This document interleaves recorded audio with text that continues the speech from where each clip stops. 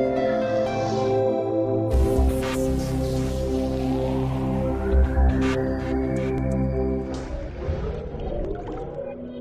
Today I'm here at the anniversary of Darpan store at Gachibowli. You know everybody love their homes and you know to make it more beautiful and attractive you can come to Darpan and you know play with colors over here and you know you can it's a very pocket friendly store so you will enjoy buying stuff from here. You know it uh, actually what I feel uh, what I personally feel is that it reflects your personality you know the furniture of your house it reflects your personality like what kind of uh, person you are you, depending on that you choose the color of your furnitures and all those things. So